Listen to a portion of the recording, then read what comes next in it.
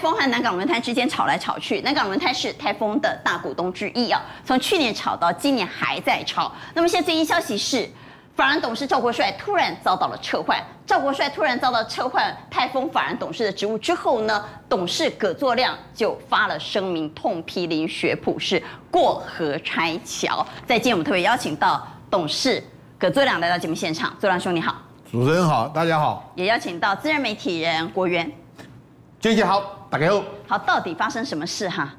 啊，公先来讲，我来先帮你做个翻译啊。你刚才讲的是文言文，我帮你讲到白话文。什么叫撤换法人董事？开除了，回家吃自己了，就是这么简单。赵国帅突然被开除呢？哎，你要知道，哎，在今年的十月十五号啊，开了泰丰一百一十年度第一次的股林会，谁是主席？赵国帅啊，挥着大军。好不容易到南港轮胎成功的入主到了泰丰了，所以他本来就是南港轮胎的法人代表。对，他代表的是南港轮胎，却被南港轮胎的老板给 fire 掉了。对，你要讲很奇怪吗？我代表你的南港轮胎，然后好不容易终于成功入主了泰丰了，市场结果短短几天，在你刚啊，十二天，十月十五号经过票选成为董事，十二天连两个礼拜都不到。就各种乞讨了啊！这是下面来集最短命的董事啊！对啊，你要知道，当初我们讲实在话，南港轮胎要入主泰丰的时候，最重要的一个目的是什么？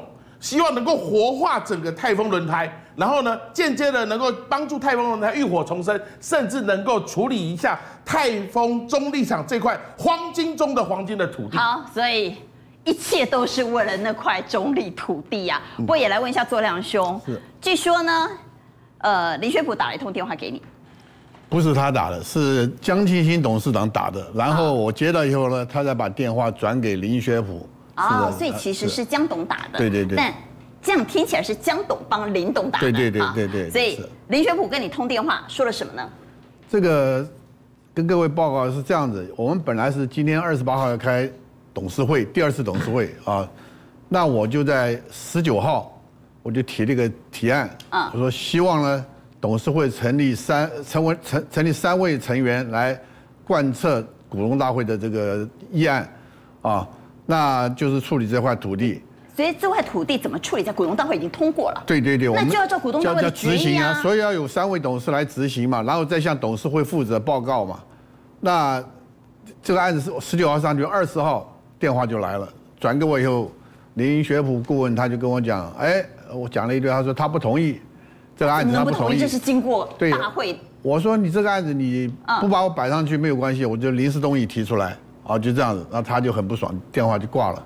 但我个人这这个最严重的就是他只是一个顾问，他在泰丰轮胎没有担任任何职务，一个顾问怎么可以插手董事会的事情，而且独揽公司大权，都有权无责，这严重破坏这公司治理啊。好，第二个是如果。这块土地怎么处理，已经是经过股东会，是啊，已经是走完程序的，他怎么能够翻案呢？他他怎么能够不同意呢？对，我也搞不清楚为什么这个样子。我至少你到董事会开会，我们现在延到十一月十二号嘛，你董事会上你要给我说明嘛，你你理由讲得出来，大家都能信服，你晚一点开发。可是不是啊，我们的董事股东大会的决议是马上要开发。他为什么可以？我搞不懂他到底。股东大会的决议是这块土地马上要进行开发，对对对对对。但他不同意。好，我来问一下国务院，不同意的原因是什么？是如果马上开发，他们有好处吗？还是他有其他的打算？我跟你讲，这就要想要唱一首歌叫《连后》，你知道吗？李学不感觉上就在这个布帘后面呐。整个营务者控制了整个泰丰的运作，哎，他是代表南港的最大股东，对不对？是。可是他自己本身不进到董事会，他派了法人代表进去，然后又把人家干掉。对，不高兴还把人家干掉，那就算了。然后呢，他还整个逾越了董事会。你要知道，关键其实就在这块土地，这块土地啊，四万四千平，然后中间还有一块公园，跟大安森林公园一样大，那根本就是已经比那个信义区还要更值钱的一块土地。那。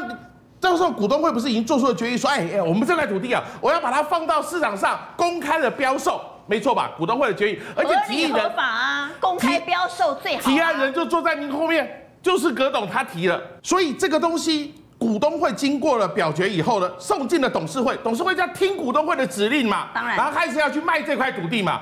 但但是你要知道，这块土地太有价值了。所以呢，林学普其实说真的，哦，就家里的心很痒，你知道吗？痒了怎么办呢？他在这段时间的时候呢，他其实已经秘密了派出他的神秘部队出来了。这家神秘部队呢，就叫做南荣开发公司。南荣开发公司是南港公司的百分之百持有的子公司。嗯，哎，它可以说是你要知道，南港现在已经是泰丰的最大股东了，对不对？哎，那你南荣公司跟南港有关系，你跟泰丰有关系，这在证交法没有规定，这叫关系人交易，对吧？你要有重讯，还要经过谁的同意？董事会。请问葛董，你知道？南荣开发已经进到泰丰中立场了吗？你知道吗？完全不知道。你看董事都不知道，可是呢，李学普已经把他的神秘的部队呢杀进了中立场。看完了以后，只讲了一件事：这个土地太棒了，要要卖掉。哇，唔干嘛？哎，他最高这个土地现在看上看一百亿起跳，哎，如果要公开标售的话，一百亿起跳。那如果他自己不管这个土地的标售，一开起来用呢，用南荣开发。复制整个世纪明珠的一个成功开发的经历，他自己弄呢，钱进谁的口袋？如果是公开标售的话，是进所有泰丰四万八千名股东的口袋；但是如果是南荣开发自己来弄呢，进谁的口袋？所以我很多事情我们不用去问。有留下一个问号，但重点是这里面涉及到已经是踩下的法律的红线，因为泰丰公司本身自己的土地处分准则里面就已经说，你什么事情要经过董事会嘛？啊，不然你干嘛？那你不然你自己来当董事嘛？好，所以周亮兄，林学普他在入主泰丰的时候，第一时间是不是就是着眼在那块土地？看起来是我我认为是，好，就是为了这块土地来的。对对对。那现在这块土地这个肥肉没有办法吃到。是。就休息啊，所以他才推迟啊，不愿意说马上去开发，不愿意马上开发。对对对。那现在公司对这块土地的想法是什么呢？因为第一个，这个开发以后对中立地区的繁荣啊，也可以加速推动，也可以活化泰丰的这个资产嘛。嗯。那现在对股东来讲，创造最大的利益嘛，所以我们公司希望马上要去做。以我代表的法人代表，我是要尽我。善良管理人责责任。你如果照刚刚国元说的，以现在市价卖出的话，对于泰丰的 EPS 会增加多少？因为这关系到广大股东权益，我们不能因为一个人他觊觎这块土地，就影响到所有股东的权益啊！你们有没有计算过？我很保守的讲，大概要三十块。EPS 三十块。对对对对。娟姐一点都不夸张，为什么你知道吗？泰丰的股本多少钱？四十七亿，这块土地随随便便卖一百二十亿。